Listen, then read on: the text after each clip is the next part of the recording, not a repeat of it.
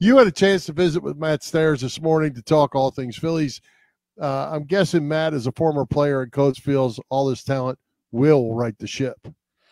Yeah, he does think the Phillies are snapping out of it.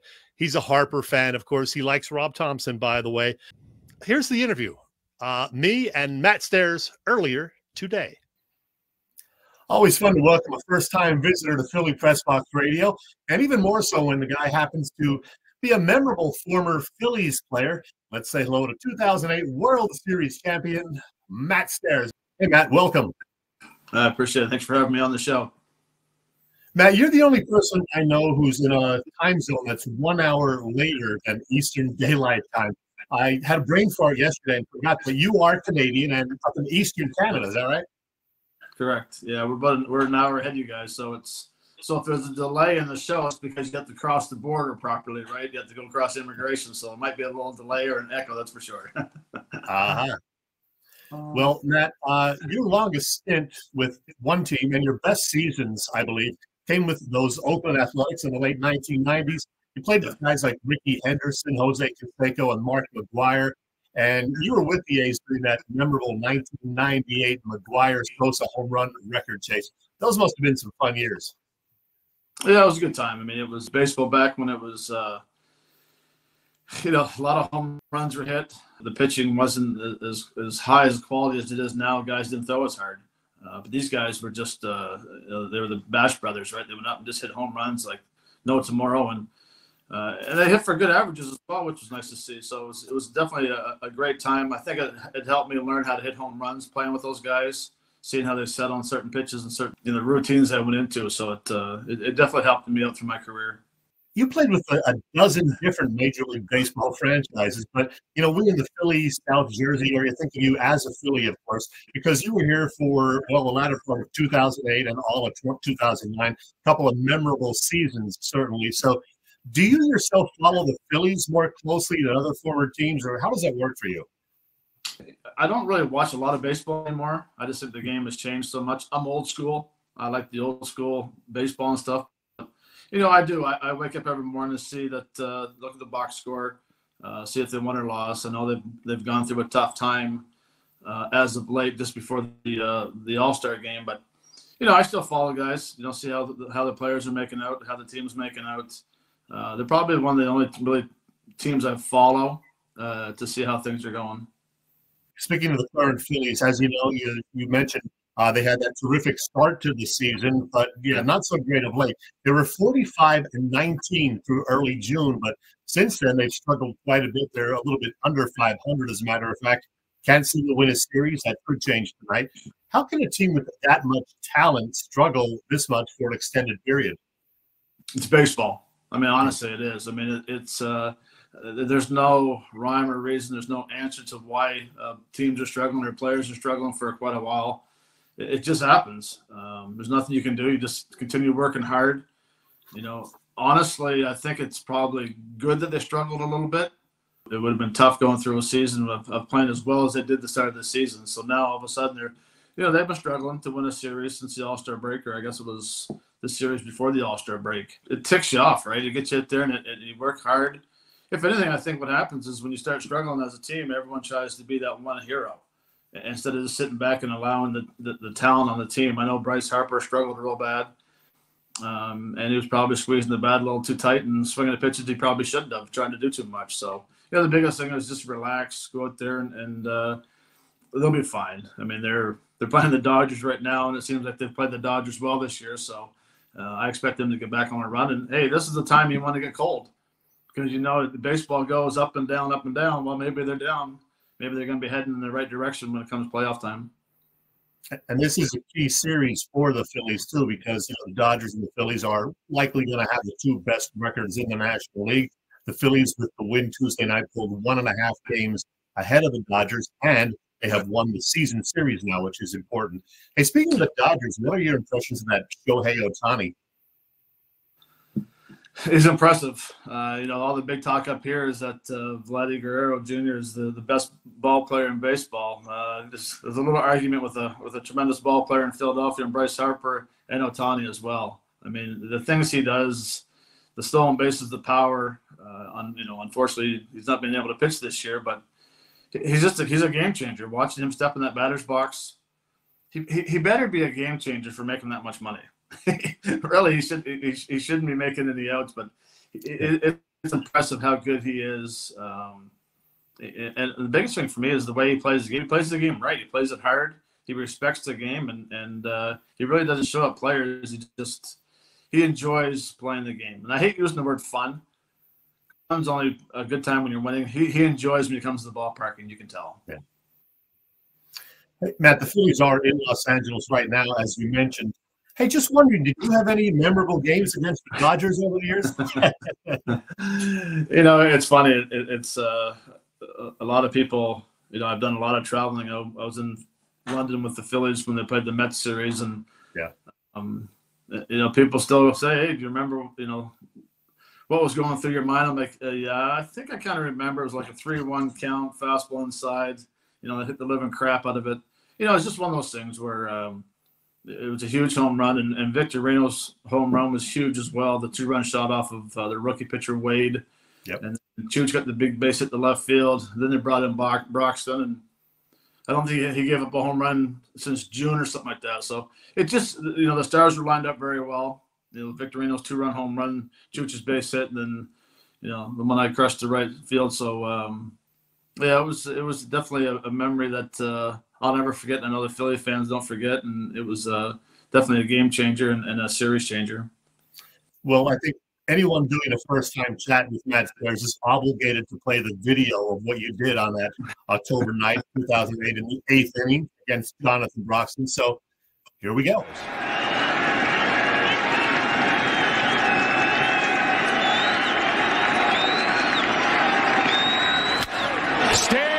One into the night, deep into right, way out of here. And Philadelphia gets a pinch hit, two-run shot, and the Phillies lead seven to five in the eighth.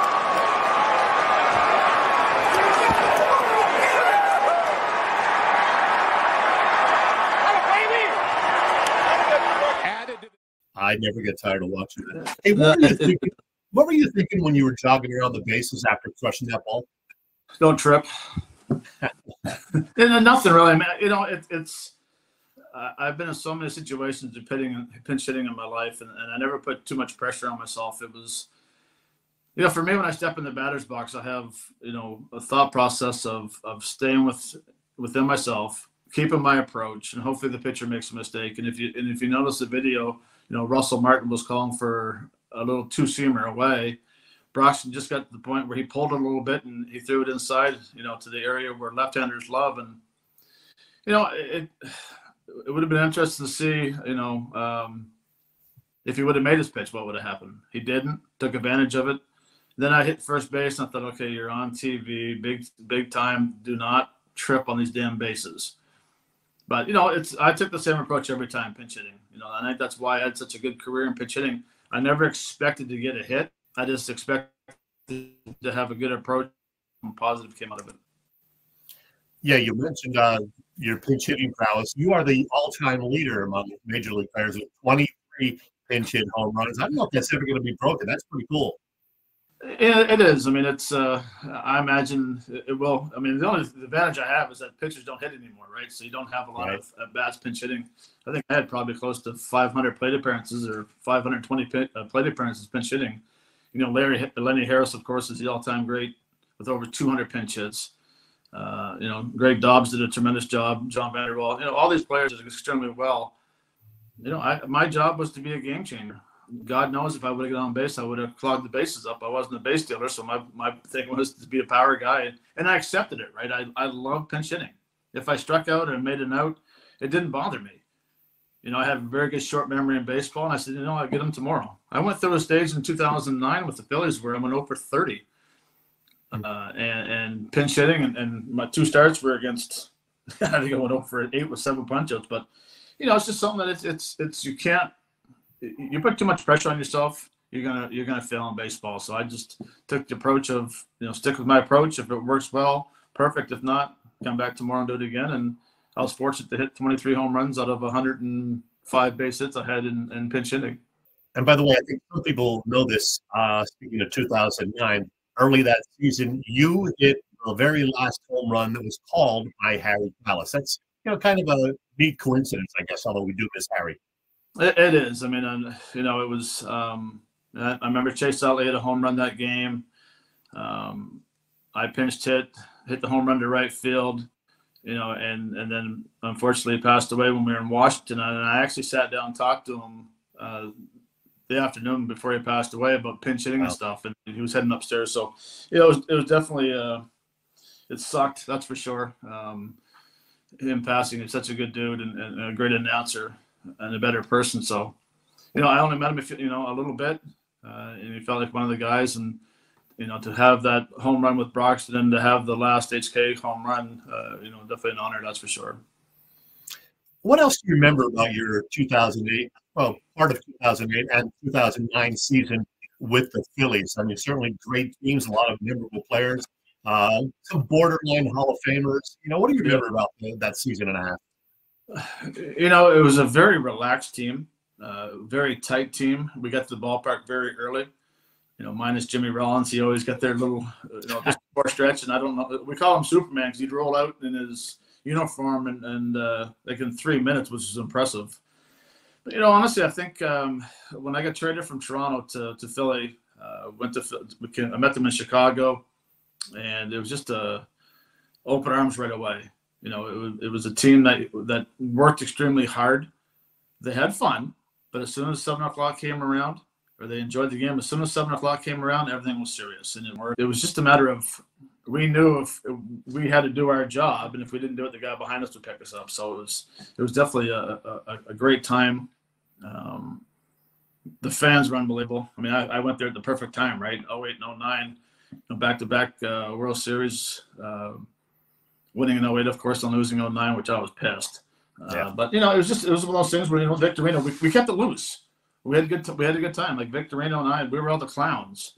You know, Myers, uh, Bland. It was just it was just a, a, great core of players, and no one thought they were better than the other person. We just went out, played the game, and played the game right, and had great success. You mentioned some of those names. Who was the most fun guy on that team? Oh, probably Werth. I mean, Jayson and I became pretty tight over our career, and, and, and Jayson was just uh, oh my God. I mean, look at him. I mean, He, has got a damn horse and won the Belmont. They're, they're, they're all like they're all different, right? I mean, Jimmy Rollins is more quiet. Chase is a great leader by the way he plays the game. Uh, Victorino just never shuts up, which is awesome because he keeps the team loose. Um, Chooch is just funny because we call him a little Tasmanian devil because you just sit there. Uh, but you know, Werth was just one of those who went out of his way to, to make everyone feel comfortable, and uh, that's that's what you need as a team, and and and we did. I mean, it was just it was just one of those teams where you just you, you look forward to going to the ballpark every single day to see your teammates and see what was going to happen that night. Hey, you were a pretty good hockey player back in the day, and afterwards you did a lot of coaching. In fact, you just retired recently from coaching hockey. Yeah. I mean, you're from Canada, so you gotta love hockey. But tell me about your love of hockey. Oh, I, I, was, you know, for, I mean, where I live in Eastern Canada, I mean, it was, you know, hockey was 10 months and baseball was two months. You know, playing minor baseball up here, we played 10 to 15 games a year. Then we couldn't get wait to get back on getting on the skates and stuff. But you know, I had a good career. I mean, it was uh, I definitely wanted to go out and, and, be the next Montreal Canadien. That's for sure. Um, you know, that's just how it was, right? I'm a diehard hockey fan. I watch, you know, anywhere from the Flyers to to Vancouver play. I mean, all over the world, I watched the games, and it was just it was a passion. Uh, it was just something that never worked out. I was small, not good enough, got hurt. Uh, decided to play baseball, and it worked out well. So, but I did. I coached high school hockey for 20 years. I coached John Bapst in, in Maine at a private school for a couple years, Bangor High School for a couple years, and then spent about 11, 12 years at FHS where I graduated Fredericton High School. And I enjoy it. I really do. I enjoy getting out there and doing the drills with the players, taking slap shots, talking crap when you score on the goaltender. They talk smack when they stop me. So it was it, was a great time, and I like to give back to the community, and that's why I do the, the a lot of the baseball stuff now in Fredericton and, and all over actually. And uh, tell me about what you do with baseball. Are You're coaching baseball? Well, yeah, I'm a, I'm a technical director for the Fredericton Minor uh, Baseball Association up here, and we have you know about seven, a little over 700 players in our in our association, and you know, work from five to, to 18 year olds. Um, you know, go to the fields each night, help run practices. Uh, I run the baseball winter clinic, uh, the spring training clinic, the fall ball. Season gets a little busy because uh, there's so many different you know fields you got to go to. I help out coach with the the 18 uh, AAA major and minor team, which will be heading to Newfoundland next week for the nationals. So that should be fun. But you know, and then and then I still big part of the Okotoks Dogs, who are out in Alberta, which is a tremendous college program and uh, a tremendous uh, baseball program, which they run from you know 13, 15, 16, 17, 18 year old kids up there. So it's uh, still trying to stay involved as much as possible. I was just in Harrisburg, Pennsylvania for the Big 28 down there as well. So uh, I, have been traveling around watching a lot of baseball, and and, uh, and I still enjoy it. Nice. Well, Matt, uh, a little thing we do with first time guests often is play a game of Fast Five in our final couple of minutes. You up for that? Maybe. five brief questions, five short answers. So, uh, okay. the world.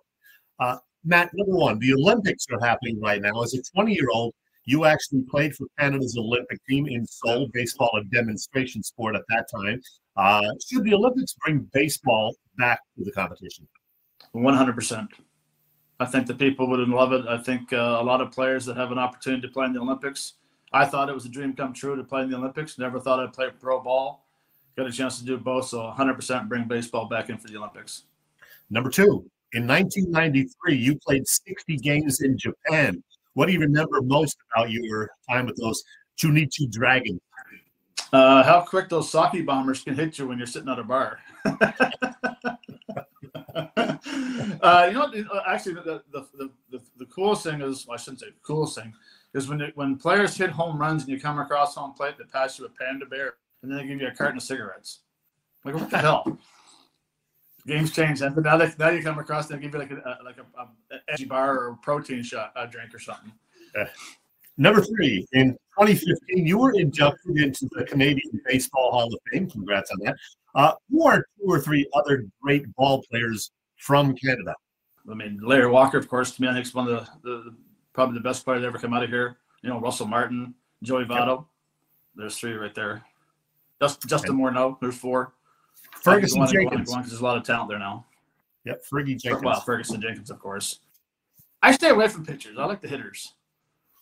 I got you. Number four, speaking of pitchers, uh, what pitcher did you hate batting against most during your career? And who did you have a lot of success against? Uh, hated face Rhodes. I tell the story about facing Arthur Rhodes. I was 0 for 18 and players saying, that's not too bad. I was 0 for 18 years before I finally got a hit my last at bat. I faced him in the minor leagues. I faced him in the big leagues. He used to tell me what was coming. I'd pop it up in an elevator shaft. I'd ground ball to first. Finally, my last at bat, I got a hit against him. Short memory, right? I own him. I'm one for my last one. The guy I really enjoyed hitting against was probably uh, fellow Canadian Ryan Dempster. Had good success against him. Uh, and Tim Wakefield, I think uh, I enjoyed because he was a friend of mine, and you didn't have to think. You just saw the knuckleball and you swung hard, tried to elevate, and, and uh, go up from there. And I didn't mind facing Randy Johnson. Hmm, okay. And number five, what is your favorite baseball or hockey movie? Slapshot. Yeah. By far, Slapshot is the one of the greatest hockey movies ever. You know, the Hanson brothers had a chance to go out and uh, do some functions with them before, and boys, they can drink some beer. So I don't watch a lot of baseball movies, but hockey movies is, is definitely uh, either the Miracle on Ice or uh, Slapshot. Nice. Hey, speaking of uh, Canadians, what's your take on Rob Thompson, the Phillies manager, also a Canadian? Good fellow. He's done a great job. He's he's, he's definitely a, a, a player's manager. He doesn't try to uh, manage too much.